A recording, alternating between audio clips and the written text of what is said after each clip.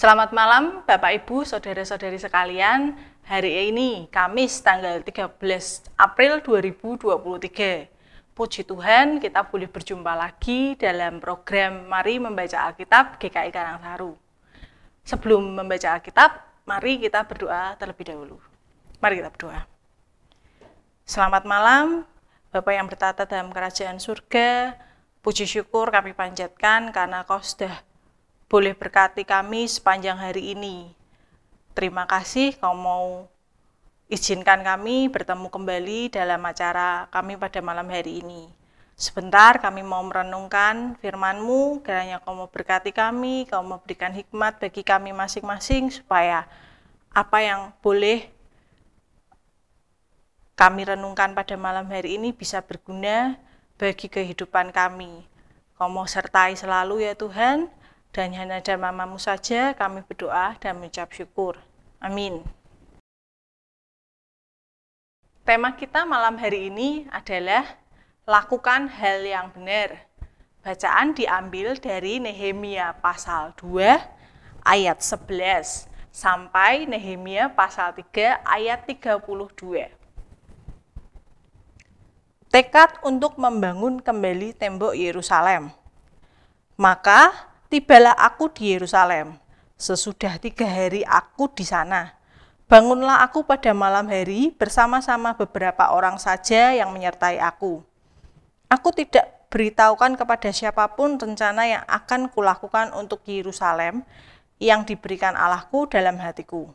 Juga tak ada lain binatang yang juga tak ada lain binatang kepadaku kecuali yang kutunggangi Demikian pada malam hari aku keluar menuju pintu gerbang lebak ke jurusan mata air ular naga dan pintu gerbang sampah. Aku menyelidiki dengan seksama tembok-tembok Yerusalem yang telah terbongkar dan pintu-pintu gerbangnya yang habis dimakan api. Lalu aku meneruskan perjalananku ke pintu gerbang mata air dan ke kolam raja. Karena binatang yang kutunggangi tidak dapat lalu di tempat itu. Aku naik ke atas melalui wadi pada malam hari dan menyelidiki dengan seksama tembok itu. Kemudian aku kembali lalu masuk melalui pintu gerbang lebar. Demikianlah aku pulang. Para penguasa tidak tahu ke mana aku telah pergi dan apa yang telah kulakukan, karena sampai kini aku belum memberitahukan apa-apa kepada orang Yahudi, baik kepada para imam maupun kepada para pemuka kepada para penguasa dan para petugas lainnya. Berkatalah aku kepada mereka, kamu lihat kemalangan yang kita alami, yakni Yerusalem telah menjadi reruntuhan dan pintu-pintu gerbangnya telah terbakar. Mari kita bangun kembali tembok Yerusalem, supaya kita tidak lagi dicela. Ketika aku beritahukan kepada mereka, betapa murahnya tangan Allahku yang melindungi aku dan juga apa yang dikatakan Raja kepadaku, berkatalah mereka, kami siap untuk membangun, dan dengan sekuat tenaga, mereka mulai melakukan pekerjaan yang baik itu. Ketika Sanbalat orang Horon dan Tobia orang Amon, pelayan itu, dan Geshem orang Arab mendengar itu, mereka mengolok-olok dan menghina kami. Kata mereka, apa yang kamu lakukan itu? Apa kamu mau berontak terhadap raja? Aku menjawab mereka, kataku, Allah semesta langit, dialah yang membuat kami berhasil. Kami, hamba-hambanya, telah siap untuk membangun tetapi kamu tak punya bagian atau hak dan tidak akan diingat di Yerusalem. Maka bersiaplah imam besar Eliasib dan para imam, saudara-saudaranya. Lalu membangun kembali pintu gerbang domba. Mereka mentahbiskannya dan memasang pintu-pintunya. Mereka mentahbiskannya sampai menara Mea dan menara Hananel. Berdekatan dengan mereka, orang-orang Yeriko membangun dan berdekatan dengan orang-orang itu Zakur bin Imri. Pintu gerbang ikan dibangun oleh Bani Sena. Mereka memasang balok-balok lalu memasang pintu-pintunya dengan pengancing-pengancing dan palang-palangnya. Berdekatan dengan mereka, Meremot bin Uria bin Hakos mengadakan perbaikan dan berdekatan dengan dia Mesulam bin Berekia bin Mesesabel. Berdekatan dengan dia Zadok bin Bana mengadakan perbaikan dan berdekatan dengan dia orang-orang Tekwa. Hanya pemuka-pemuka mereka tidak mau memberi bahunya untuk pekerjaan tuan mereka. Pintu gerbang lama diperbaiki oleh Yoyada bin Pasyah dan Mesulam bin Besoja. Mereka memasang balok-balok lalu memasang pintu-pintunya dengan pengancing-pengancing dan palang-palangnya. Berdekatan dengan mereka, Melaka, orang Gibeon, dan Yadon. Orang Meronot mengadakan perbaikan beserta orang-orang Gibeon dan Mispa yang berada di bawah kekuasaan bupati daerah sebelah barat sungai Efrat. Berdekatan dengan mereka, Uziel bin Harhaya, salah seorang tukang emas, mengadakan perbaikan dan berdekatan dengan dia Hananya, seorang juru campur rempah-rempah. Mereka memperkokoh Yerusalem sampai tembok lebar. Berdekatan dengan mereka, Revaya bin Hur, penguasa setengah wilayah Yerusalem yang satu mengadakan perbaikan. Berdekatan dengan dia, Yedaya bin Harumaf mengadakan perbaikan. Tepat di depan rumahnya. Dan berdekatan dengan dia, Hatus bin Hasabnea Malkia bin Harim dan Hasub bin Pahat Moab memperbaiki bagian yang lain dan menara perapian. Berdekatan dengan mereka, Salum bin Haluhes, penguasa setengah wilayah Yerusalem yang lain, mengadakan perbaikan bersama-sama anak-anak perempuannya. Pintu gerbang lebak diperbaiki oleh Hanun dan penduduk Zanoah. Mereka membangunnya kembali dan memasang pintu-pintunya dengan pengancing-pengancing dan palang-palangnya. Pula tembok diperbaiki sepanjang seribu hasta sampai pada pintu gerbang sampah. Pintu gerbang sampah diperbaiki oleh Malkia bin Rehab, penguasa wilayah Bet Kerem. Ia membangunnya kembali dan memasang pintu-pintunya dengan pengancing-pengancing dan palang-palangnya. Pintu gerbang mata air diperbaiki oleh Salum bin Kol Hose, penguasa wilayah Mispa.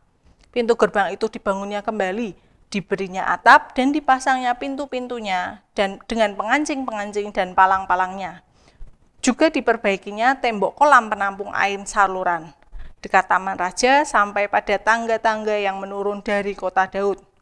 Di sampingnya Nehemia bin Asbuk, penguasa setengah wilayah Betsur, mengadakan perbaikan sampai di depan perkuburan Daud dan sampai pada kolam buatan dan rumah para pahlawan. Di sampingnya, orang-orang Lewi mengadakan perbaikan, yakni Rehum bin Bani dan berdekatan dengan dia Hasabia, penguasa setengah wilayah Kehila yang satu untuk wilayahnya. Di sampingnya saudara-saudara mereka, yakni Binui bin Henadad, penguasa setengah wilayah Kehila yang lain, mengadakan perbaikan.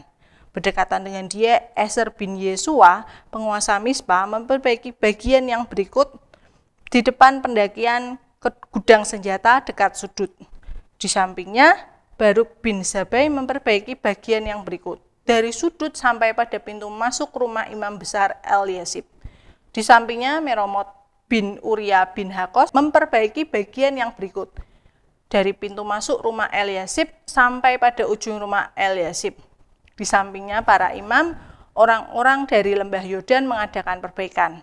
Di samping mereka, Benyamin dan Hasub mengadakan perbaikan di depan rumah mereka.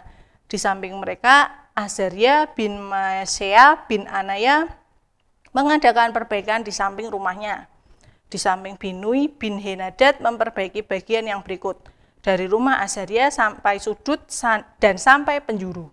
Palal bin Uzai mengadakan perbaikan di depan sudut dan di depan menara yang tinggi yang menonjol dari istana raja dekat pelataran penjagaan. Di sampingnya, Pedaya bin Paros mengadakan perbaikan sampai di depan pintu gerbang air di sebelah timur dan di depan menara yang menonjol. Adapun para budak di Bait Allah tinggal di Ovel. Di samping Pedaya, orang-orang Tekoa memperbaiki bagian yang berikut. Dari depan menara besar yang menonjol itu sampai tembok, tembok Ovel. Mulai dari pintu gerbang kuda, para imam mengadakan perbaikan masing-masing di depan rumahnya. Di samping mereka Zadok bin Imer mengadakan perbaikan di depan rumahnya. Di sampingnya Semaya bin Sekaya penjaga pintu gerbang timur. Di samping Hanaya bin Selimnya dan Hanun anak Salaf yang keenam memperbaiki bagian yang berikut. Di samping mereka, Mesulam bin Berekia mengadakan perbaikan di depan biliknya. Di samping Malkia, seorang tukang emas mengadakan perbaikan sampai pada rumah budak di bait Allah dan para pedagang di depan pintu gerbang pendaftaran dan sampai pada kamar atas di penjuru. Lalu antara kamar atas si penjuru dan pintu gerbang domba para tukang emas dan para pedagang mengadakan perbaikan. Demikianlah sabda Tuhan. Syukur kepada Allah. Selamat malam saudara-saudara yang dikasih Tuhan. Pernahkah Anda diolok, dihina, diintimidasi karena melakukan hal yang benar? Pernahkah Anda merasa sepertinya lebih mudah dan nyaman untuk mengatakan apa yang orang ingin dengar, bukannya hal yang benar. Anda akan mengetahui betapa sulitnya melakukan hal yang benar. Saat menghadapi intimidasi dari tiga orang yang berkuasa, Nehemia berdiri teguh untuk hal yang benar, yakni bahwa Tuhan akan memberi dia keberhasilan. Teladannya menantang kita untuk mempercayai Tuhan dan tetap teguh bahkan ketika lawan membuat kita takut ketika membuat suatu keputusan, sadarilah Anda hanya mempunyai tiga pilihan. Pilihan yang pertama, hidup untuk menyenangkan diri Anda sendiri. Ini selalu membawa pada kehidupan yang tidak bahagia.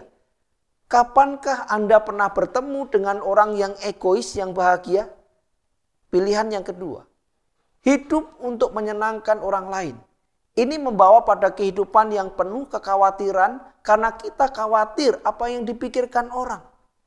Pilihan ketiga, hidup untuk menyenangkan Tuhan. Ini membawa pada kehidupan yang penuh keberanian karena Anda bebas dari rasa khawatir tentang apa yang orang pikirkan.